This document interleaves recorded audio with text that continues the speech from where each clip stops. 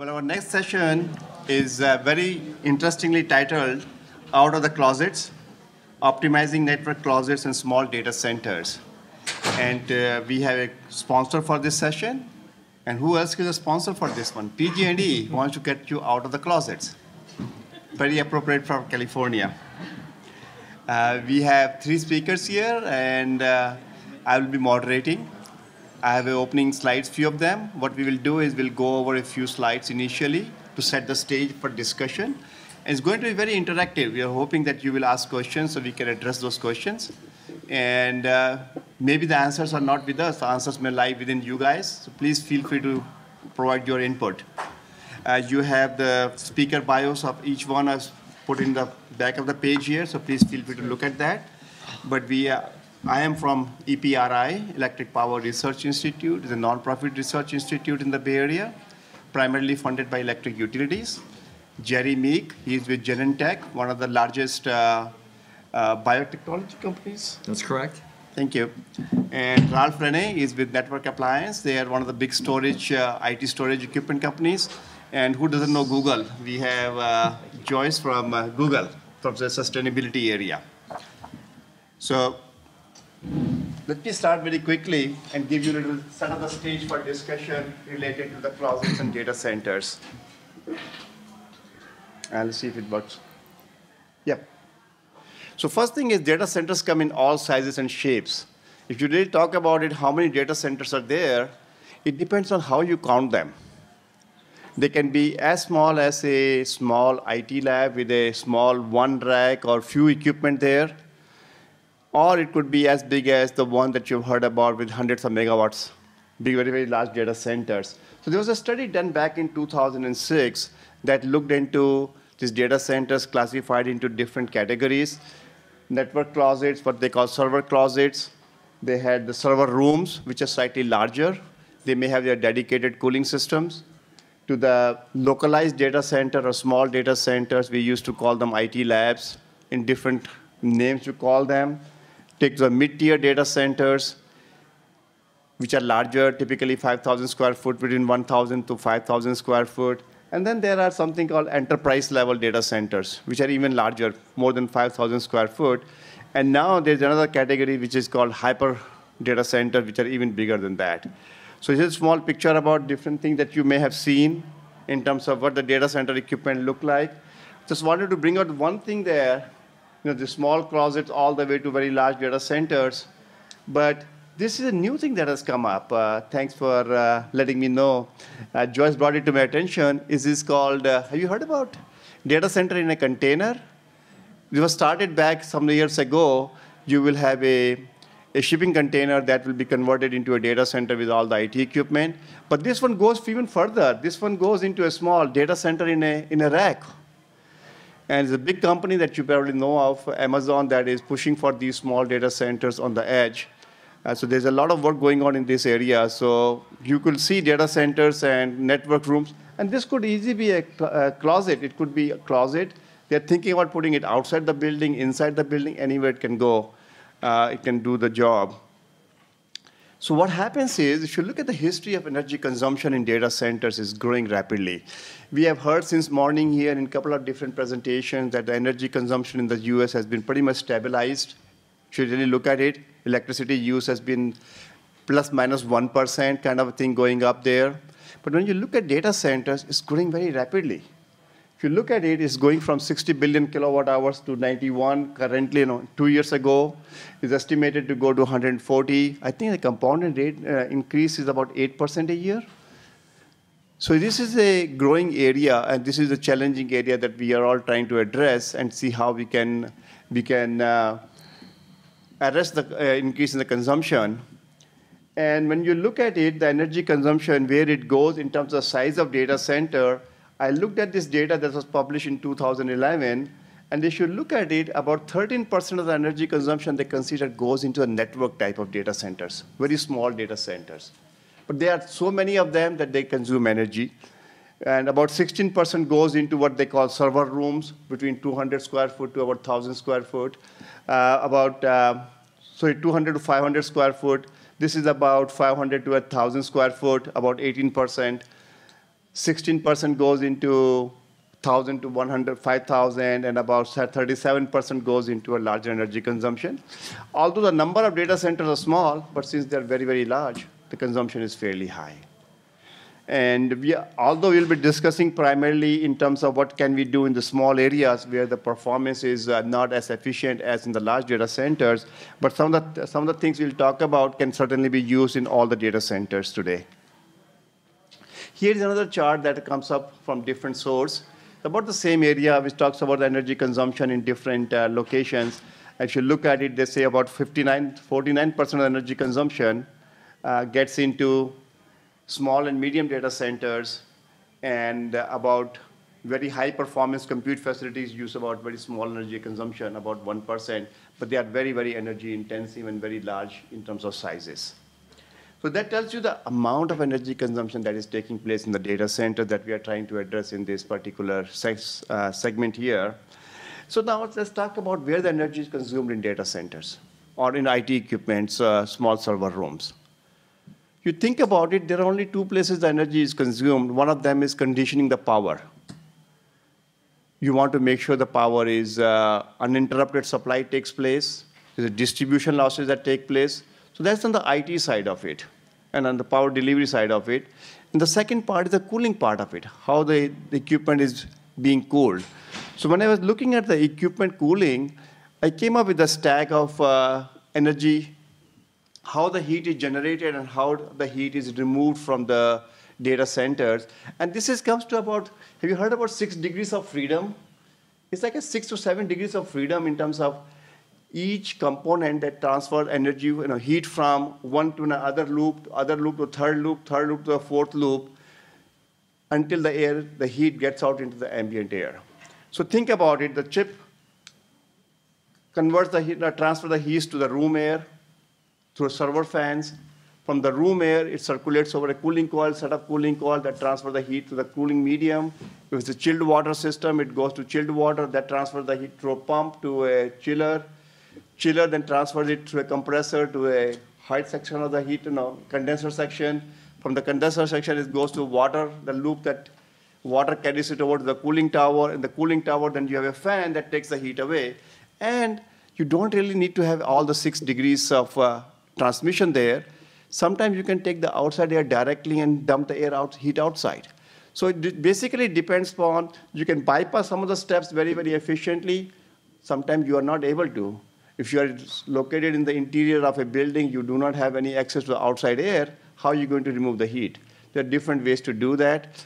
So there are different, know, in these areas, when I looked at it, because every time you transfer the heat, there's energy consumption that takes place the energy required to move the heat through pump, through a compressor in a chiller system, through a cooling tower fan, or the indoor air fan. So I was looking at the energy consumption some time ago and looked at the data that was collected by our friends at Lawrence Berkeley Lab.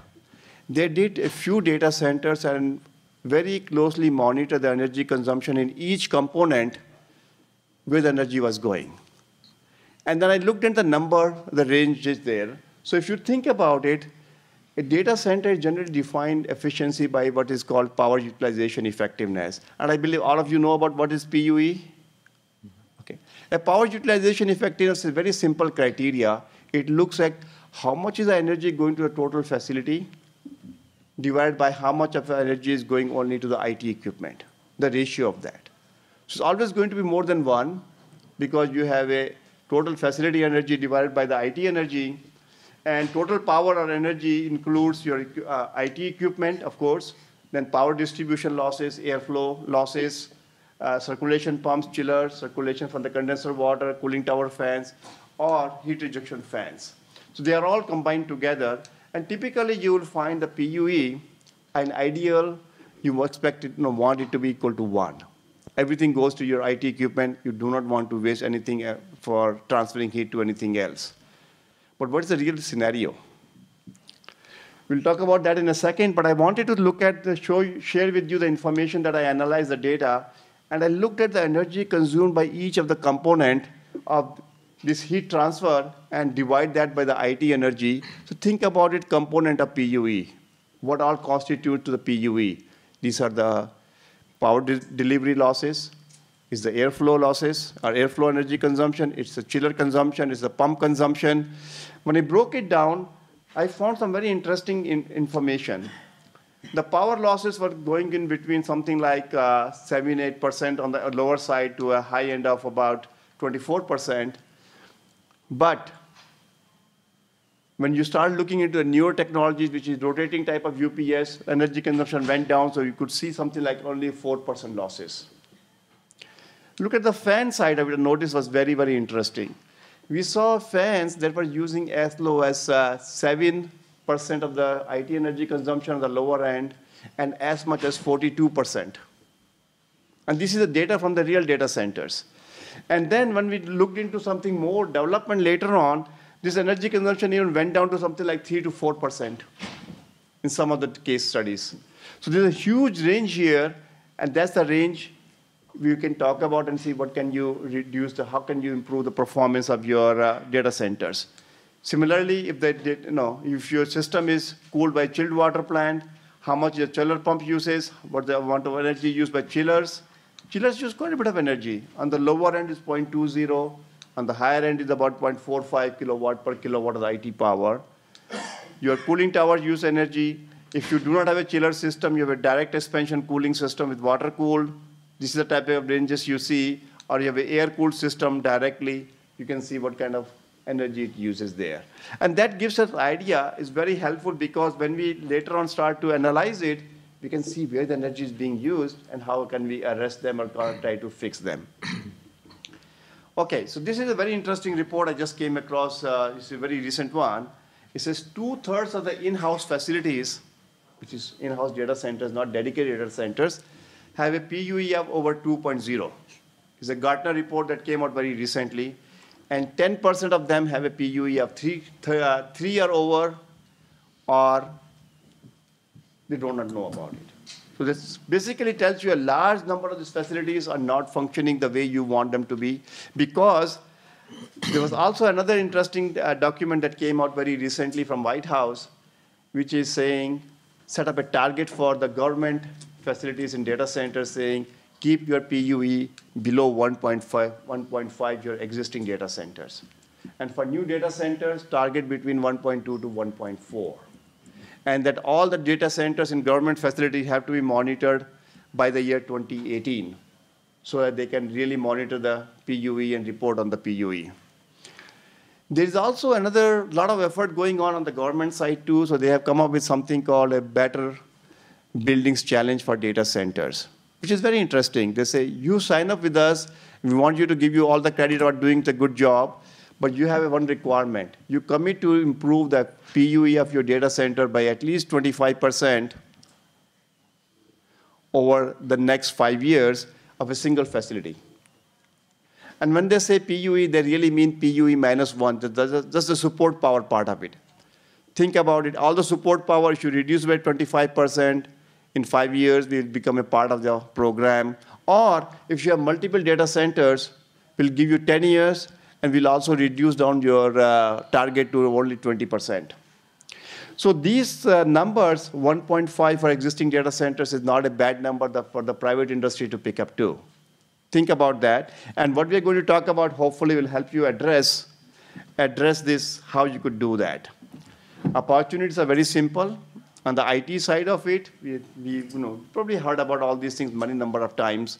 You do a server consolidation, virtualization, so that you have fewer, fewer equipment doing the so more work.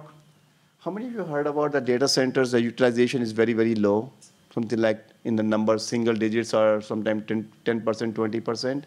So if you do a consolidation, it will help you improve the performance. You use a high efficiency server fans. This is something I have not heard about it lately, but um, if you, this is more of a, not only server fans, but also in terms of power a conversion device, your power supplies. There are now Eco plus 80%. They've gone to platinum, uh, platinum uh, performance, which is running into range of about 95%, 97% efficient in power conversion, can really save you.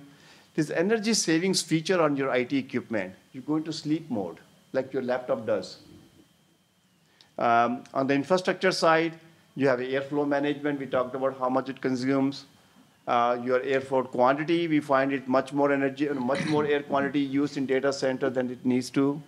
I have come across places where you're blowing three, four percent, 400 times, uh, or three to four times the airflow that is needed there. Conditions of air, you know, cold is old kind of a thing. I just heard, just heard about that. You don't need to keep data centers very cold. They can run in warm conditions. The IT equipment uh, can withstand higher temperatures using the direct air from outside or indirectly through your chilled water loop or refrigeration loop.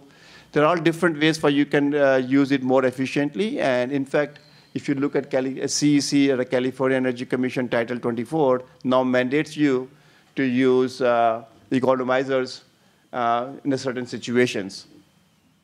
You can run jet chiller system. They don't have to run to a standard temperature for human comfort cooling. They can run at warmer temperatures.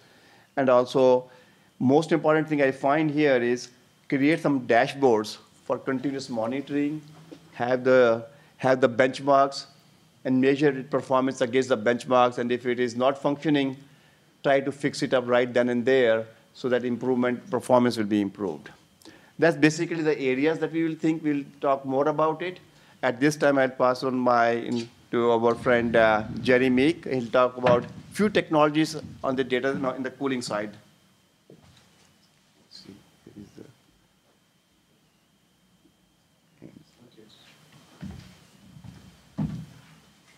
I'm going to focus really on the IT closets themselves and really how they've evolved over the period of time and what we at Genentech have done over the last uh, 39 years.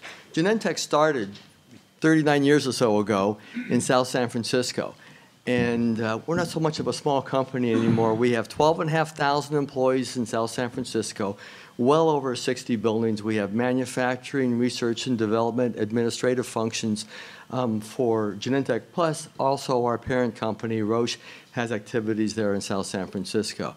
So our growth has been phenomenal. So you can imagine with the evolution of data, computer rooms, server rooms, and our growth at the same time. We've had a lot of fluctuation and a lot of change. Well, the expression that uh, cool is old is definitely the case because when we started building these data centers and server rooms many, many years or so ago, really the focus was is truly making an air conditioning unit dedicated to these small applications. Five to 10 ton units. You would have something up on the roof, you know, as far as your condenser units. You'd have a little small fan coil with the refrigerant, or you would have the unit in the space. Um, you know, they were a lot of work, a lot of maintenance. And we kept these rooms at 68 degrees.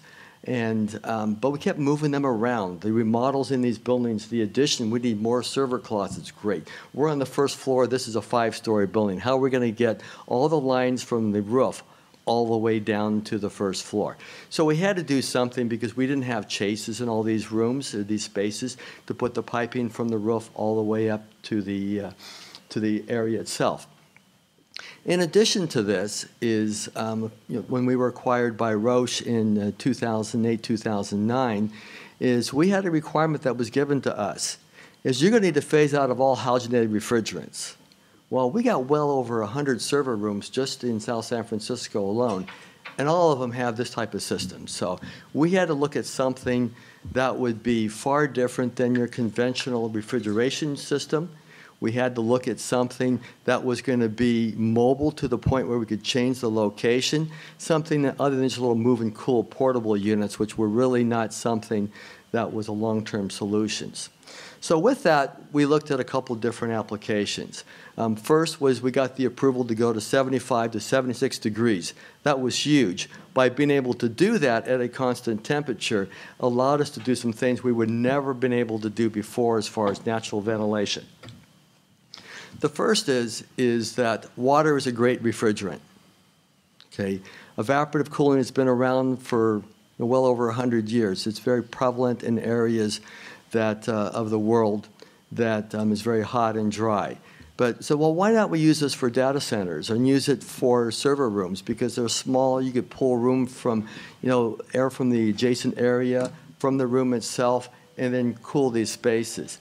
But before we put our first one in, we went to, uh, to Colorado and visited in uh, Boulder, the National Snow and Ice um, location, where they have their big data center there. That entire data center is cooled with evaporative cooling. I said, wow, I was really impressed. And then we went up to, to NCAR up in Wyoming, which is one of the world's largest data centers when it was built. It doesn't have any, any compression cooling. It's all evaporative cooling throughout. And then looked at the PUEs and looked at their energy consumption. It says, this is definitely a ticket you know, for us. So we've installed these in a few locations. We're very, very happy with them. We've had them in, in operations for, for well over a year with basically almost no maintenance on those other than filter replacements. Well, this is maybe not an application for all locations because it does take some space. If you have a little dinky room, you don't have enough room to put this, what are you going to do? So we have a lot of office buildings that where we turn the HVAC off at night and after hours, but there's still heat going on, heat generation within these areas. We don't want to run the entire house system for these little IT closets. So what we physically have done is looked at a, at a program of basically utilizing the surrounding air in the environment and the building as a big heat sink is that um, we put exhaust fans in, we put in some little transfer fans. So we've taken during the day, when the AC unit is, is working, we provide cooling to those spaces via the house air. Then after hours on the time clock, when the house air system is physically off, what we physically do is then we turn an exhaust fan on that pulls air from an aisle or pulls air from the interstitial space, and then that fan air with that hot air is then evacuated to a surrounding area. It could be you know, back into the corridor. It could be above the ceiling. It could be a different part of the building, or even the exhaust system. In South San Francisco, if you know you've been there in the summertime, it gets pretty cold. You know, so actually, what it's been interesting, and especially in the winter months, this actually helps heat the building up a little bit. You know, with the IT, so we reuse that heat to go back into the building. A benefit we were not anticipating, but was a pleasant surprise. So these are some of the evolutions that we have taken, you know, and we're still in the process of uh, going through these rooms one by one. So with this, we've been able to reduce our energy consumption in these spaces by about 80% for the cooling, just by using either the water refrigerant or the air movement, because there's no uh, refrigeration base, there's no compression, compressors, which are big users of energy. And on top of that, the benefits of having a lot lower maintenance and meeting the requirements that we have of our parent company to phase out of all halogenated refrigerants. So it's been a win-win situation. I'm pleased, and, but we've still got a long ways to go. And being portable, this is nice. As we change locations for these IT closets, especially in the lab buildings, we've been able to, uh, to implement these really quickly without having to disrupt the other floors and such. So with that, I'll turn it over to Ralph. Thank you, Jerry.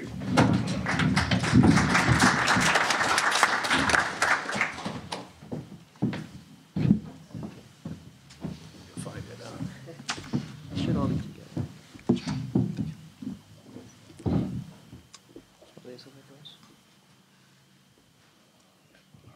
Yeah.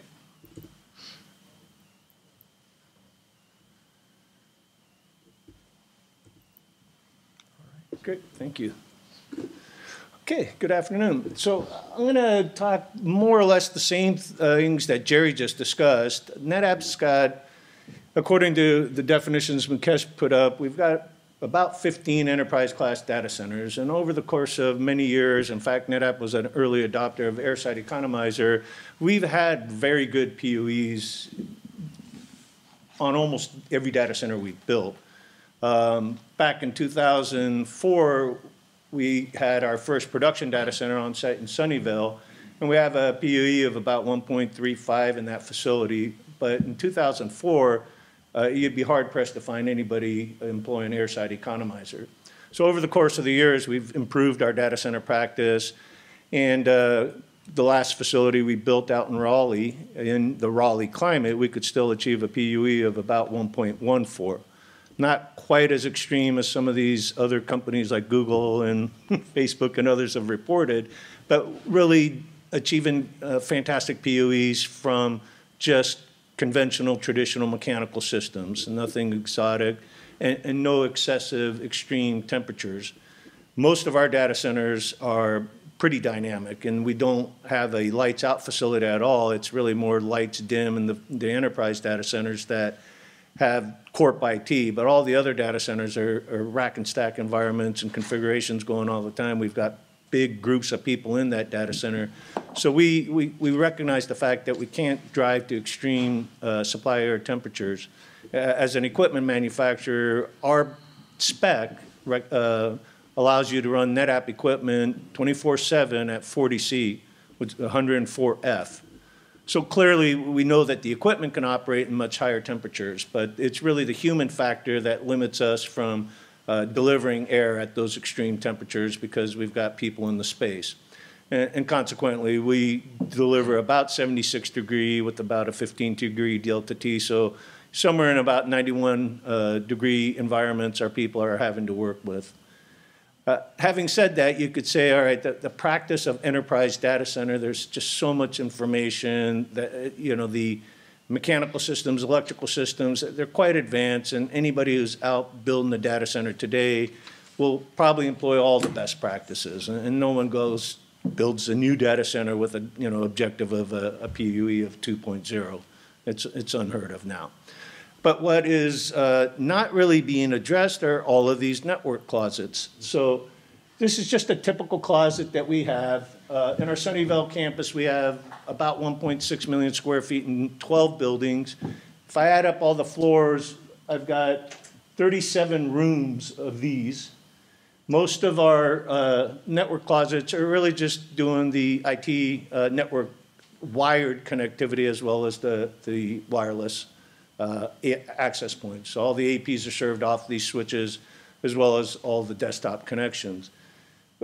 Quite simple. It's just a cabling hub with a couple big Cisco switches. In our case, we use a uh, 6500 series Cisco Catalyst switch, uh, dual power supply. They're about two and a half K, three K loads in each of these rooms. Depending on what size the floor is, it, it kind of varies.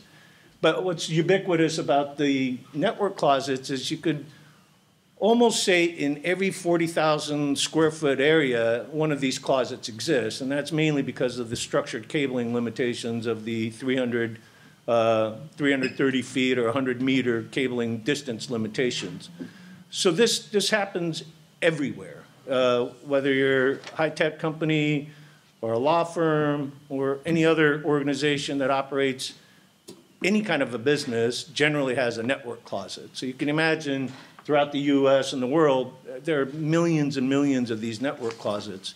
In our real estate where we're multi-tenant, and we may have a small footprint, 20,000 square feet on a, a 50,000 square foot floor, we may have four different neighbors. Each one of our neighbors has one of these closets in it. So you could just see how it kind of perpetuates, and, and there's so many network closets out there in comparison to enterprise level data centers that maybe there is a bigger opportunity here. So this is just our typical spec.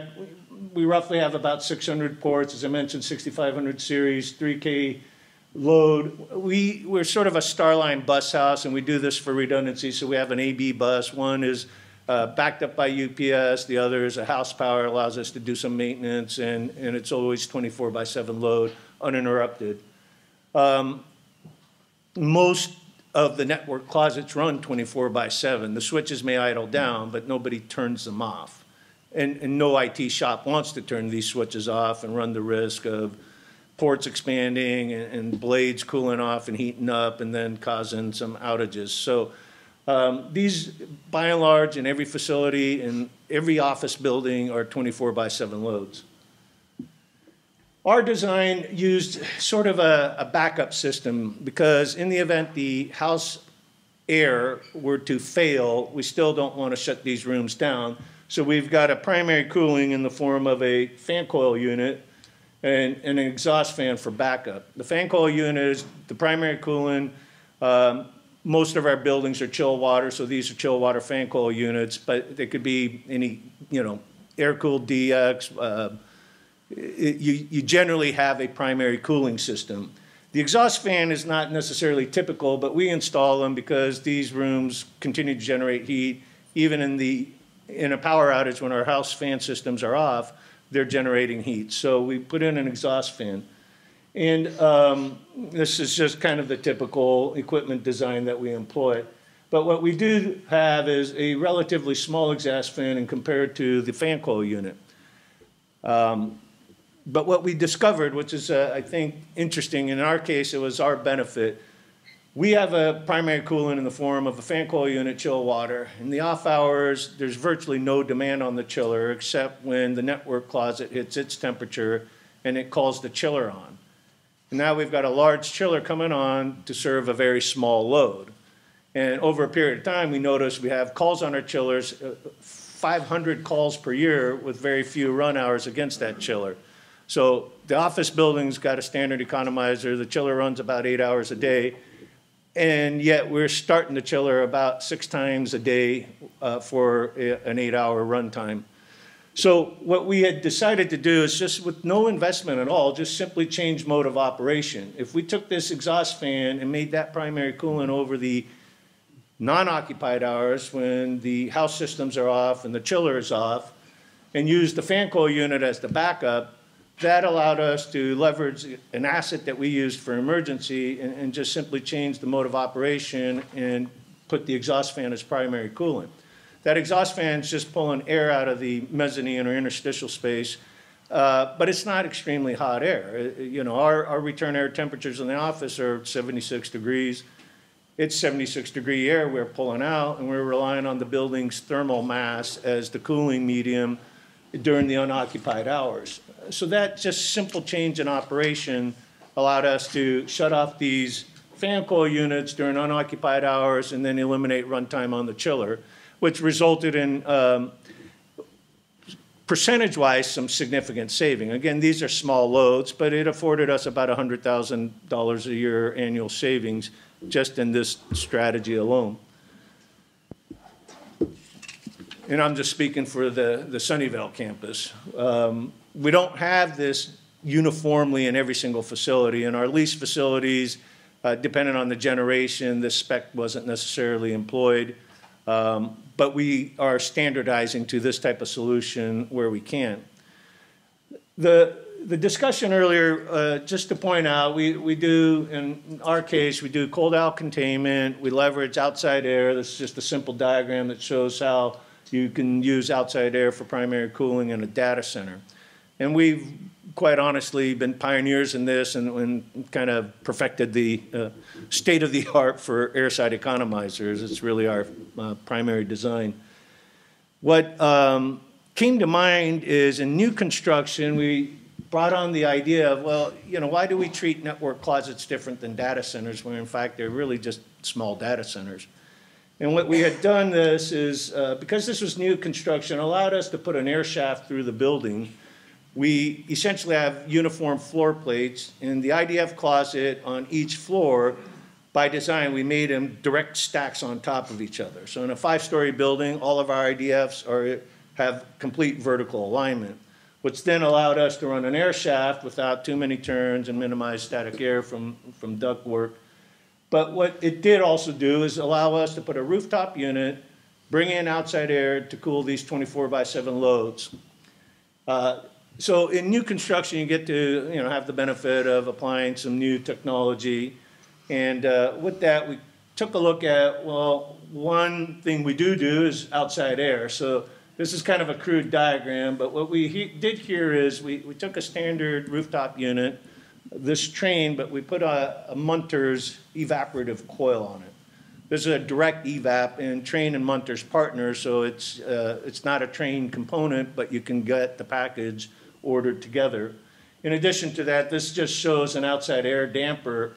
So allows us to go ahead and bring in outside air as primary cooling, leverage free cooling. The only thing we've got is fan energy. The secondary mode of cooling is uh, evaporative cooling.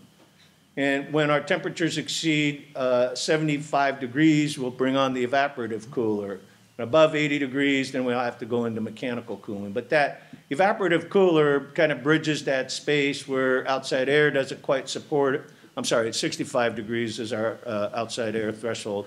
So 65 to 80 is where the evaporative cooler, and then it goes to full mechanical cooling. But it was just another way to really start focusing in on um, rooms that are out there all over the place, but no one really ever focused in on it. Uh, the most traditional way is a split system where you've got an air handler and a, a DX condenser, and it's one of the most expensive ways to cool a space, relatively cheap in terms of the HVAC equipment, but highly inefficient. So this is just one more view of just what could be done, uh, taking sort of the data center design practice and applying it to network closets. So that kind of ends my discussion, and Joyce, why don't you take over?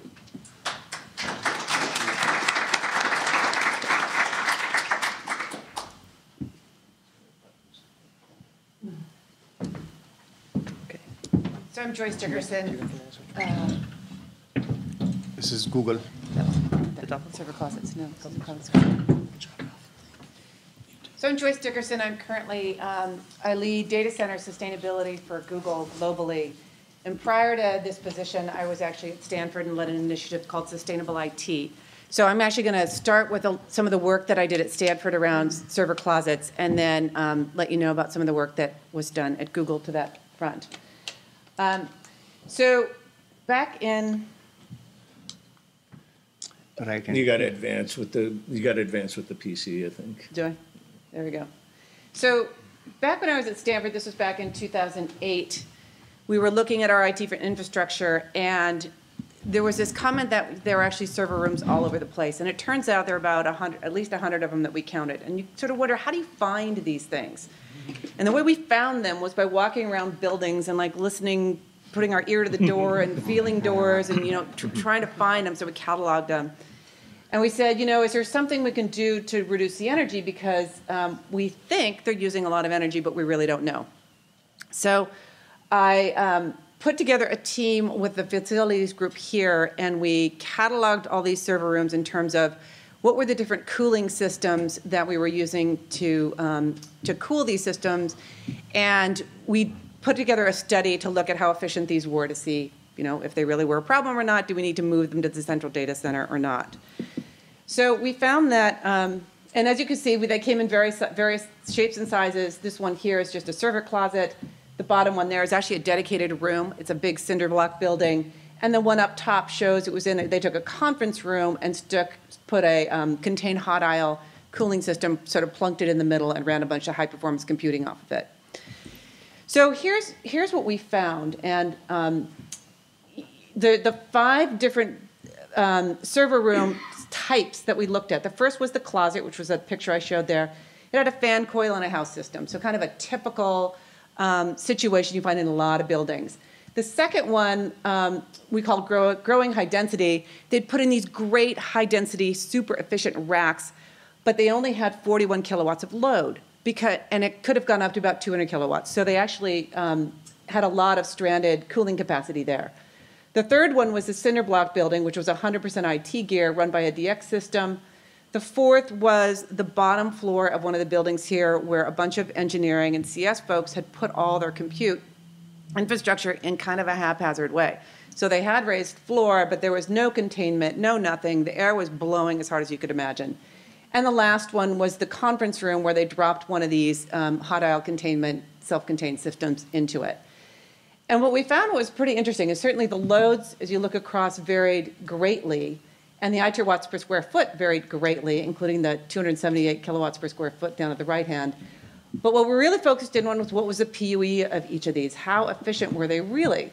Well, they were all pretty not so efficient. Um, the you know the the fan coil closet was at 2.36, and they were calling us and saying, "Hey, we need more cooling because we're starting to you know burn out what we've got here." The water cooled racks were at a two. They should have been down at like a 1.2 if they'd been fully loaded. The DX unit was actually doing pretty well. And so the idea, if you take a cinder block building with no you know, a way for air to escape, it, you can actually run a pretty efficient facility that way.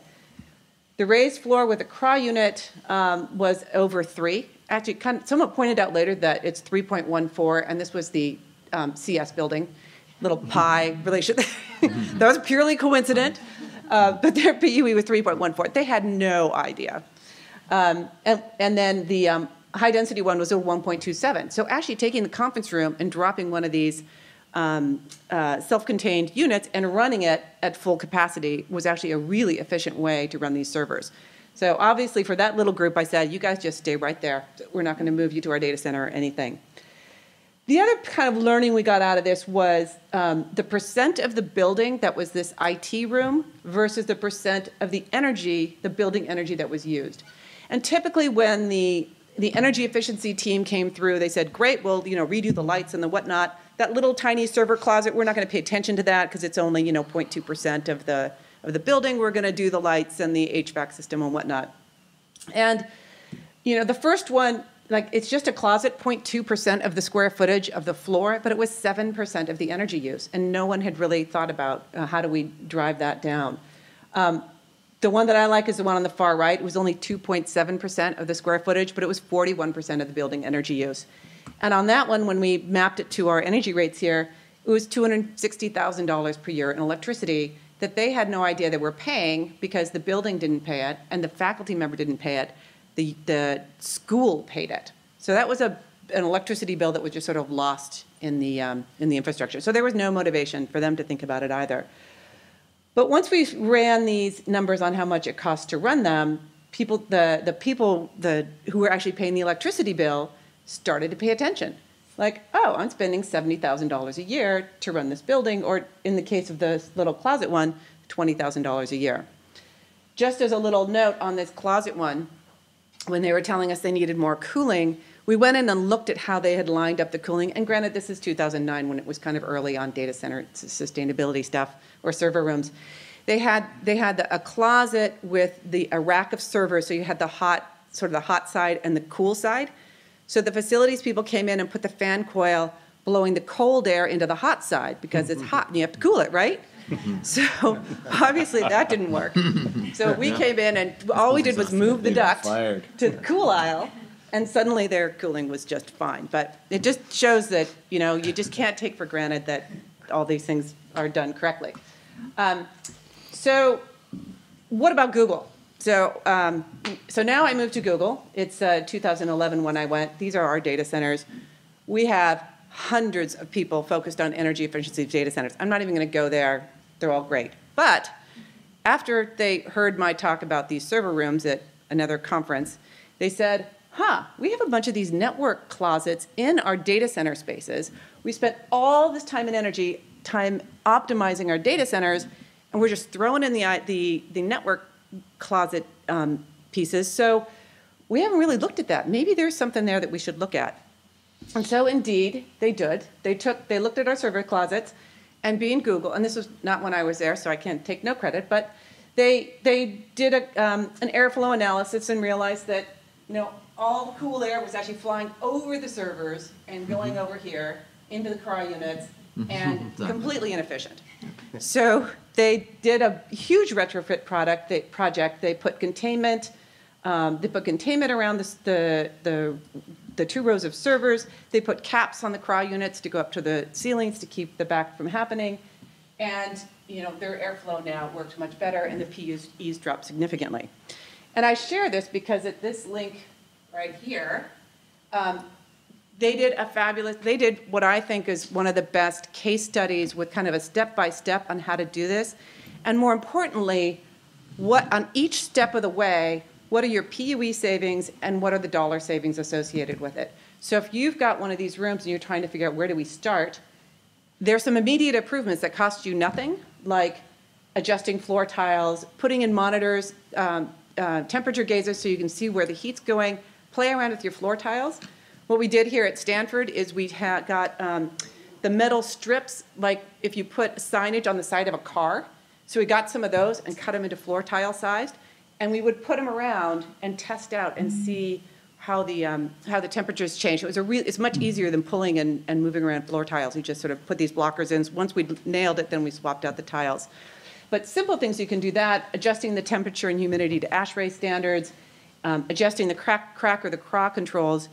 That that was their sort of starting point. Immediate improvements that got them a 0.2. They went from a 2.2 to a 2 in terms of um, PUEs. And then they go down. Then they did the cold aisle containment. That got, got them another 0.2 points. Then they did um, the air extensions, and that was actually 0.3 points, so one of the most cost-effective things they could do was actually close off the top of your cracks. And then they did some controllers on the cracks. So all of this information is available. If you're interested in um, trying to see some of the numbers behind it, encourage you to look at it. However, it's now 2015, and the world has changed since 2011. So, I mean, these guys mentioned some great technologies that they use. What we've gone to at, um, at Google and many companies that I know have sort of switched from a, you know, we just need to get rid of these things. We have very talented people managing our data centers. There's cloud options. Just, we need to get the server rooms out of there. So if you can, you know, the main goal is actually to get them out. And this is a study that LBNL did um, last year, I think it was, and they looked at the energy use of, you know, running your own stuff versus actually moving it to the cloud. And you can save um, 80, 87% of the energy use, and it's primarily, these little bubbles are sort of the energy footprint of the different pieces. Once you get it out of your inefficient 2.53.0 PUE E data center and into something that the cloud data centers are, which are running at, you know, 1.1 or 1.08, or even your own corporate data center, which is probably running at a 1.1 or a 1.2, there are huge energy savings to that. And from a um, sort of overall carbon reduction and energy reduction, that's often can be the best way to go. And that's all I have. Thank you.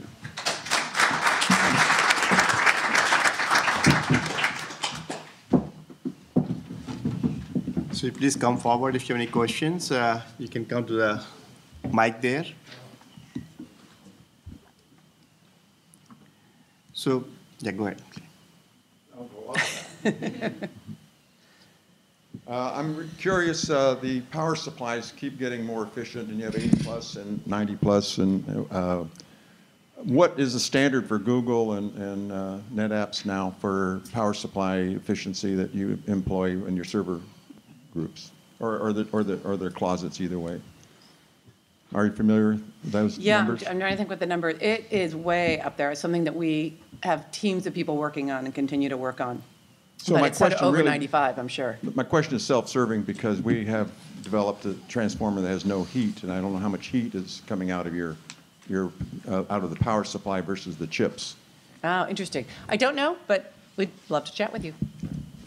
Eh, Yeah, I mean, Energy Star for servers are available, not quite for storage, but we tend to buy Energy Star compliant servers.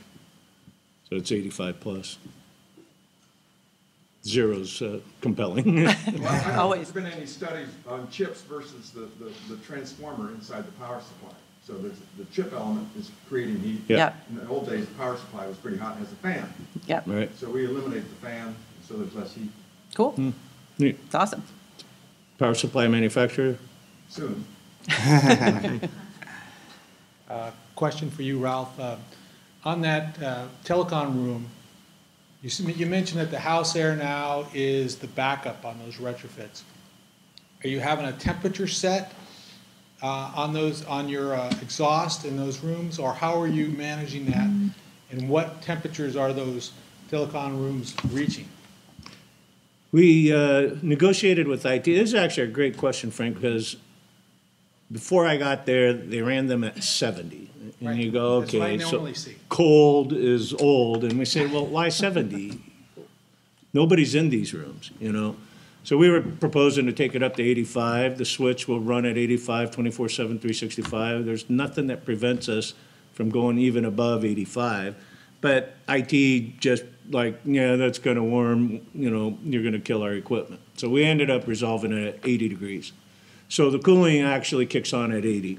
Um, in the occupied hours, the primary cooling is the fan coil, and we run the fan coil and maintain 80 degrees in the room. In the off hours, the same thing. The exhaust fan will just run and try to modulate to 80 degrees.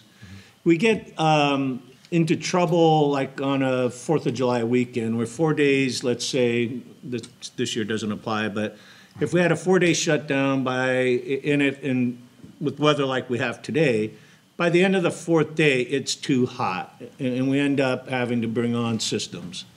But in a kind of a standard week, um, with the two-day weekend, we were able to kind of ride through and run the exhaust fan without bringing on primary cooling. Very good. Yeah.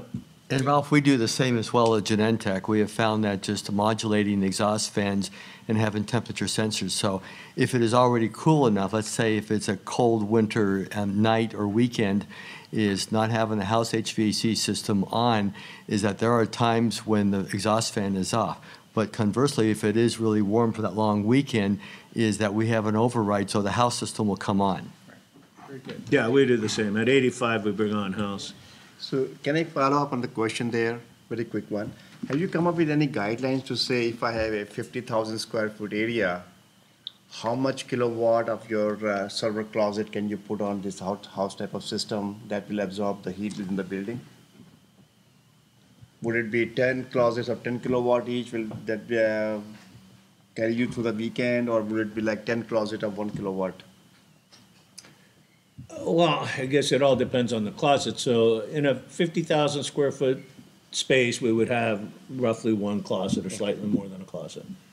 And that's a, you know, in idle mode, it's not even three KW continuous, but maybe two and a half.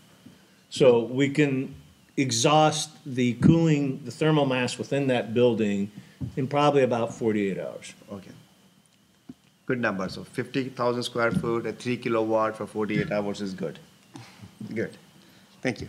Yeah, um, it seems that immersion cooling has a lot of potential for solving a lot of the efficiency issues and airflow and all these you eliminate and, and can be done, I mean, it seems to be tried a few times. What's your experience with it? Have y'all's companies tried it, evaluated it to, for, you know, implementation in your data centers? Uh, It, it's, um, we haven't deployed it. We're, we look at everything, and so we have a small team who's looking at it. It's, uh, it's pretty interesting. You have to solve some challenges around, you know, what, what the fluids, and how do you change things, and how do you stack, and kilowatt out, kilowatts per square foot, you know, all of that we're sorting through. But it's, you know, something that we're keeping an eye on. in high density where, you know, performs really well, so I'm just, and the, and the efficiency can be. Yeah. We, we've looked at it, but um, there are form factors that aren't um, really readily available. So you've got to have a sort of a design toward that and, and some real super high compute. I know in uh, Lawrence Livermore, they've done it rather successfully, but uh, I'd still say we're pretty much an off-the-shelf type IT shop, and you don't necessarily see it. And, and it's also, you would want a design to it. Uh, You wouldn't put it in a traditional data center, albeit there's people saying you can retrofit to it, and, but you've already got the investment in standard cooling systems, so you'd have to overcome the impairment and write-off of those systems to implement new. So we, we've explored it, but we don't really have a, a good application for it. And quite frankly, what, you know, um, Google's doing, we're doing. We're, as much as we can, we'll reduce footprint in our own data center and leverage the cloud. So to start designing towards a, a more efficient cooling system when we're really trying to reduce footprint is, is sort of, you know, counterintuitive. I guess one, one thought of it is, why, why aren't people using it for their cloud data center? That's probably where the market is, seems to be, yeah. I mean, you really want to be big. Yeah. Efficient. Yeah, and all very custom designed. I mean, I think it's just, it's new. Yeah. It's new. I had a question for Jerry about you're using trans, transfer air from adjacent uh, server rooms to cool at night so you can turn off your house air. How do you, uh, just to get into the details, we ran into some problems with fire rated walls when we were thinking about doing that and, and just sizing issues. So I'm just wondering what were some of the challenges or ways you worked around different situations with transferring air? To- What did you do, transfer to the corridor, to rooms adjacent to the space, or how, how have you done it? It's, it's a case-by-case basis, depending on what the corridor, if there are one-hour rated wall you had to go through. And in those cases, you'd have to put a fire damper in there or a smoke-type uh, fire damper as well um, with a fusible link. But uh, it's an extra cost, but it's far less expensive than having to put dedicated DX systems in and run piping. That localization just of the fans in those applications is, is a big saver. Are you exhausting to an adjacent space, or are these spaces where they had exhaust fans already in the spaces? We're putting in small exhaust fans, particularly for those rooms, and just doing a transfer air. We only do that really in our office environments, in the laboratory spaces, um, where we have air 24/7. We just use the house air in those applications. And I guess one more question on, for the network closets, is it possible to move those units to the cloud? I thought those had to sort of reside locally in the building. We're trying to get rid of all of our servers, is- and, and, and like everybody else is doing, is have it go to the cloud or to our centralized data centers. Because IT really wants to get out of the business of, of supporting servers that are in individual closets. So a server isn't different from a network closet in terms of where you have to Exactly. live? Okay. We, we, but we still find that people want to put servers, you know, for their applications, especially in our research community, um, within their areas, because a lot of the servers for the research folks are not supported by IT, because you're buying a piece of equipment with an individual type of computer, and some of the stuff is quite old, um, and like, so we really can't make any changes in those And- applications. And we are doing that here too. I guess I just was, maybe it was a space that had switches in it and network switches versus servers. There was some, we came across one, what looked like a room full of equipment and we're told, well, that's not something you can move to a central facility because it's switches, not servers. So I just was curious. There is a distance for the switches for, Okay. for when the user is, so it has to be within a certain distance, what typically, I think, 300 feet, Ralph? Three, 330 or 100 Yeah, or so meter. we keep them within. Okay, thank you. Yeah, but, but that's a great question, because switches aren't going away. Even if you go wireless, the, the access points, they're served from switches. So we've purged, uh, and, and my WPR facilities team was probably the, the last to get out of these IDF closets, and we got rid of our servers that we kind of stashed in all these closets throughout the buildings. Um, But we pretty much got servers completely out, so there's no real compute, it's just the networking switches, they have to remain. And they're, they're actually gonna grow and load. If you really think of Internet of Things, PoE is, you know, power over ethernet is the future. All of our cameras work on it. Uh, you'll see lighting, uh, available today through network switches. Um, so these loads are actually gonna grow over a period of time. In fact, uh, you'll, you're gonna probably start seeing switches getting bigger with m- more robust power supplies because they're actually distributing DC power now for a variety of applications and also taking the data analytics.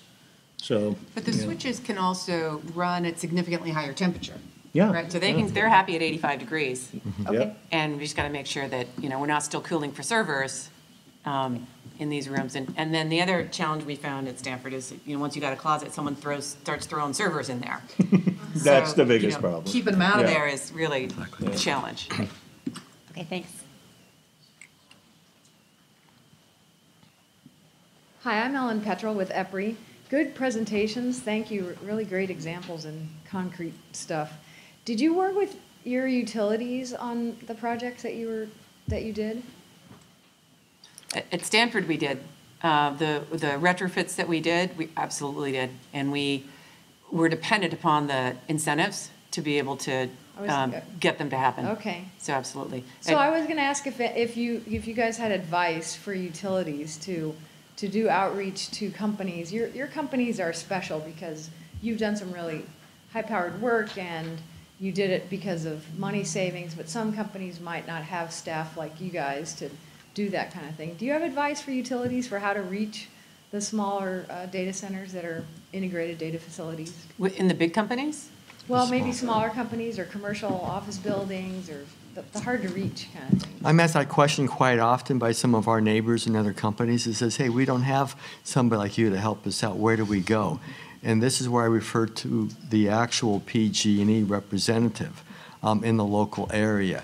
And they could reach out to their individuals within PG&E if that's your territory, and they could bring some pe- people in to help out. But there's also a group of contractors that are willing to help out too. If they just know um, that there's an opportunity, they could work with the utility provider to help and assist in those designs and get rebates for those jobs. Yeah, we, we leverage please walk up to the- PG&E rebates. In fact, uh, on the data center practice, we, we've received a tremendous amount of rebates out of PG&E. And in my experience, the, the, the reps do a good job canvassing. I, I think what may not get transmitted are these like unique opportunities that Jerry or I have a- adopted using like exhaust fans for primary cooling. But it is a case-by-case basis, so it, it's, it does require some engineering, but, you know, almost every project we do, uh, if there's a, an applicable rebate, we do take advantage of that. Hi, my name is Ronaldo Visaliza. I'm with Alisto Engineering, and I have a question for you on the design of these data centers. Some of them, uh, quite a few of them actually, are retrofitted into buildings that are warehouses or, or existing facilities. How do you take into account any passive solutions for cooling, such as wastewater recycling or, uh, uh, or uh, uh, thermal geothermal solutions uh, when you consider designing them? Wastewater recycling, uh, uh, I mean, uh, it it certainly can be done. Uh, The contribution in terms of data center efficiency, not necessarily directly linked.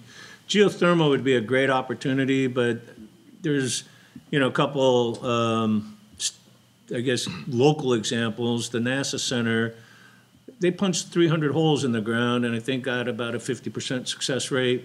So it's conceivable it can be done. I know Google has some geothermal as well, but um, not necessarily, you know, the way you'd approach it in a traditional data center design. Conventional cooling using air side economizer still seems to be the simplest. You could achieve a lot with water side economizer. So, you know, kind of the loading orders, air side, water side. And then you could do some more exotic things like geothermal or, or just cooling loops buried about 10, 15 feet underground. You can dissipate a lot of heat that way, but it's hard to do in retrofit. And if you're planning new construction, yeah, you could take your whole foundation and, and do cooling loops underneath, but retrofit, you, you kind of work within the box that you're working with. But what I found when I visited Colorado, Wyoming, this was two years ago in July, and it was 88 degrees when I visited, and seeing three data centers that use exclusively evaporative cooling, I was rather impressed. And, and we're utilizing that on a large scale right now, not just for the purposes of data centers, but also for office areas. Because in this area, our wet bulb temperature is actually quite low. It's quite different than it would be in the East Coast or in the, the south areas. So water could be our friend for, um, for cooling. And what's interesting, people ask me the question, says, well, that takes up a lot of water, right? Well, look how much water it takes to make electricity, and it's actually, it's a net reduction in water consumption. Yeah. I would say, I would agree on the, for- for new construction and in our sort of large data center designs, we look at, we absolutely look at wastewater. We use uh, industrial water in Belgium and we use seawater in Finland and we put, we actually built a water treatment plant in Atlanta for our cooling. Um, Tying, and then when we design our data centers now, we actually cool the network rooms with the same process water loops that we use for the data center. So I could say, I guess we could say we are cooling with those. Um, But retrofits are tough. But, but I'm a, I'm a proponent of evaporative cooling, and if you can avoid using potable water for evaporative cooling, all the better. Uh, because there's a, basically a purple pipe system in the South Bay, you know, we're, we have seriously explored converting all of our evaporative coolers to recycled water. We wouldn't necessarily have to do wastewater harvesting because the volumes are so great. The domestic consumption is just too small, but because there is uh, a system that's already providing water for our landscaping, we're looking at tapping that and using it for evaporative coolers. Well, I think we have just uh, exceeded our time, so thank you very much for attending. Let's give a hand to the speakers here.